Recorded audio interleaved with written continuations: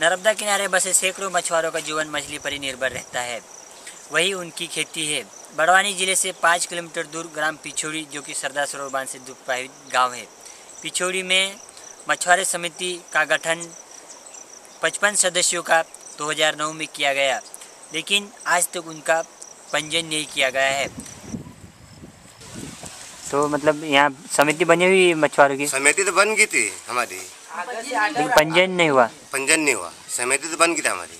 हमने शासन से अ, कम से कम 20 सोसाइटियों का पंजीयन हेतु तो आवेदन किया था जिसमें 10 सोसाइटियों का पंजीयन प्रस्ताव पूर्णतः फ़ाइल तैयार करके सरकार को दे दी गई लेकिन आज तक उनका शासन ने पंजीयन नहीं किया। इससे उनको शासकीय अधिकार और जो सहायता मिलती है आर्थिक सहायता वो नहीं मिल रही है।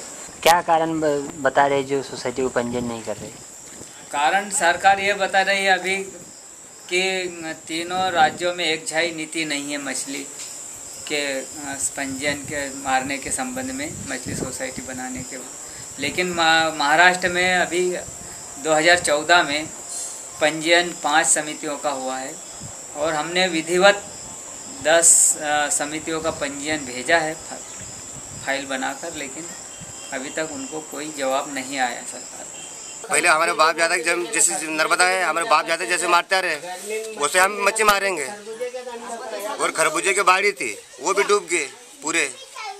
अब खुलती नहीं अब उसमें खरबूजे की बाड़ी कैसे करेंगे हम? अब दूसरे तो का हम सीखे नहीं हमारे बच्चे जो मच्छी मारे सीखे वो सीखे हैं। आप दूसरा धंधा तो कर सकते नहीं।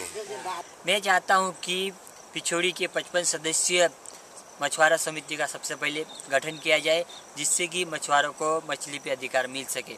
इसलिए इस वीडियो को देखने वाले सभी साथियों से निवेदन करता हूँ कि आप भी हमारी मदद करें। नर्मदा घाटी विकास प्राधिकरण के अधिकारी श्री माथुर जी, जिनका मोबाइल नंबर है nine eight nine three five one nine one zero three पर कॉल कर दबाव बनाए, जिससे कि मछुआरों को मछली पर अधिकार मिल सके।